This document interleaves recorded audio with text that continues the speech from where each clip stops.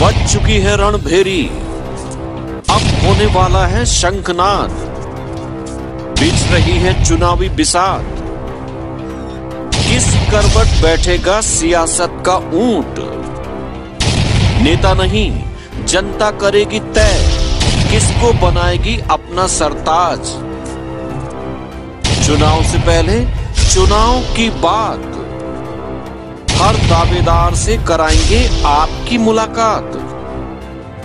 देखिए विधानसभा चुनाव पर चुनाव पर चर्चा।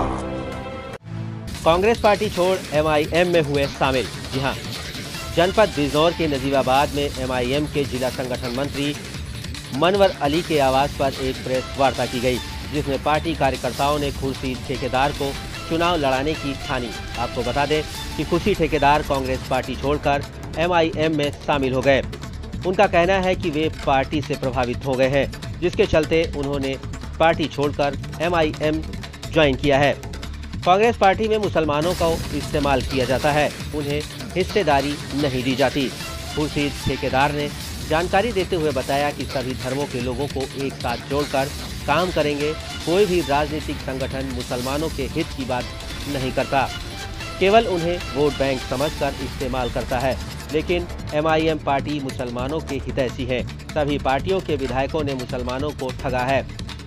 किसी ने भी मुसलमानों के लिए शिक्षा की व्यवस्था नहीं की। पार्टी का मेन मुद्दा शिक्षा व चिकित्सा रहेगा। पार्टी आपने दो चार दिन पहले ही ज्वाइन की और कांग्रेस पार्टी छोड़ के आप ए में आए हैं।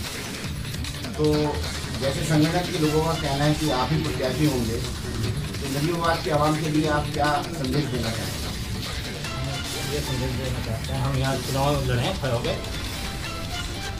यहाँ चुनाव लड़े हम। और जो हमारी जनता जो है, हमें चुनाव लड़ाना काम करे। और जो हमारी ये नीति है भाई, हमारी जो है, जो कॉलेज बने हमारे, और जो लोगों को विकास मिले हमारी तरफ़ से हमारा जमा जीत के जाएँ जनता की आवाज़ उठाएँ अपनी। हमारा ये विकास जैसे नजीबाबाद के युवाओं के लिए खेल की लगाने की ज़रूरत है अस्पताल के अभाव है। जितना भी हमसे होगा हम टोटल अस्पताल के लिए कॉलेज के लिए और बच्चों के खेल के लिए अपना सब काम करने का काम करें। अगर ये हम वहाँ जीत के जाते हैं दूसरी बात यह है कि नजीबाबाद में विधानसभा चुनाव होने वाले हैं भारतीय जनता पार्टी बहुजन समाज पार्टी। बताइए आज जो प्रेस कॉन्फ्रेंस की क्या प्रेस ये जो प्रेस कॉन्फ्रेंस की जा रही है आप लोगों के चैनल के माध्यम से ये इसलिए की जा रही है कि हमारे आवेदक प्रत्याशी हैं जनाब खुर्शीद ठेकेदार साहब जो नजीबाबाद विधानसभा से आवेदक प्रत्याशी हैं।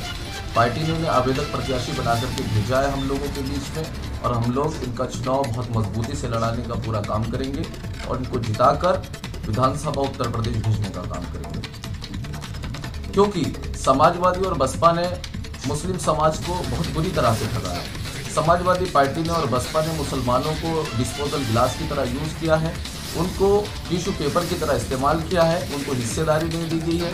हाल ही में आपने देखा होगा कि चंद्रशेखर जी को दो सीटें दी जा रही थी, लेकिन उन्होंने कहा कि मैं अपने दलितों की आवाज़ बननी है, मुझे अपने समाज का एक नेता बनना है, उन लोगों की हिस्सेदारी की बात होगी। मैं मुसलमानों की तरह बेवकूफ़ नहीं हूँ कि उन्हें हिस्सेदारी कुछ नहीं दी जा रही है और वो अखिलेश भैया जिंदाबाद जिंदाबाद के नारे लगा रहे हैं। हमारी पार्टी में ऐसा नहीं होगा, यहाँ हिस्सेदारी की बात होगी, और इंशाल्लाह हम खुर्शी ठेकेदार साहब को नजीबाबाद विधानसभा जिताएँगे।